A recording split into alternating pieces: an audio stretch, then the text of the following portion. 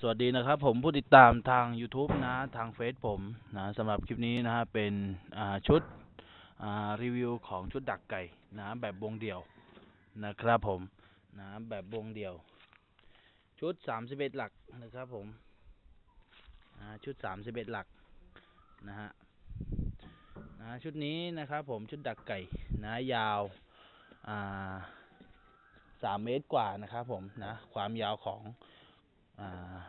หนึ่งชุดนะฮะ เวลาเราปักนะฮะประมาณสามเมตรกว่านะครับผมนะจะมีสองสองสีให้เลือกนะครับ ผมคุณลูกค้า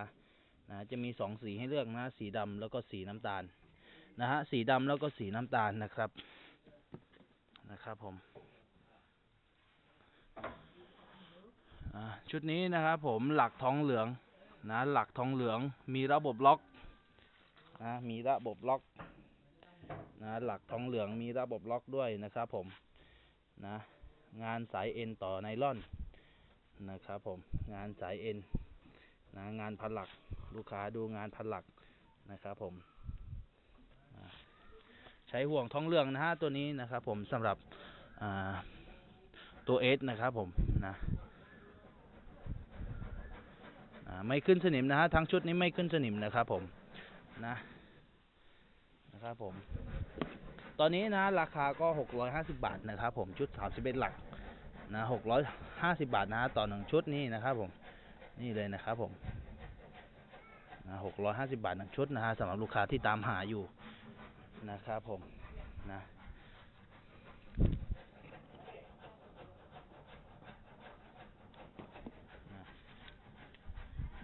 อ่าบ่วงกว้าง 5 นิ้วนะครับคุณลูกค้า บ่วงกว้าง 5 นิ้วนะครับผมนะบ่วงกว้าง 5 นิ้ว แล้วก็เอ็นเบอร์ 70 นะสำหรับทำบ่วงนะเป็นเอ็นเบอร์ 70 นะครับผมนะหลักก็ใหญ่ประมาณกี่มิลศูนย์จุด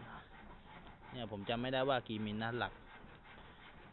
แต่หลักใหญ่อยู่ใหญ่อยู่นะครับ ผมแต่ไม่ได้เล็กเกินนะ ไม่ได้เล็กเกินนะใหญ่อยู่นะครับผมนะ ดูหัวนะ เวลาเราทำนะหัวของเวลาเราอ่าพันหลักนะครับผมนะเหล็กตรงตรงนี้นะครับผมอ่าต้องไม่ยาวเกินนะครับ เพราะว่าเวลาติดไก่แล้วนะครับผมมีโอกาสแทงขาหรือว่าแทงอ่าไก่ได้นะครับผมนะอย่าให้ให้ให้คมนะฮะตรงนี้นะ เวลาเราทำบ่วงนะครับผม นี่เลยนะครับผมสำหรับคนไหนที่ตามหานะฮะก็สามารถส่งทุกจังหวัดได้เลยนะครับผมนะสามารถสั่งได้นะครับผมเดี๋ยวผมทิ้งเบอร์ติดต่อไว้เลยนะครับผมนะโทรมาสอบถามเพิ่มเติมได้ทางเบอร์ผมนะครับผมสองที่นี้นะฮะราคาตรงนี้เลยนะครับ สวัสดีครับ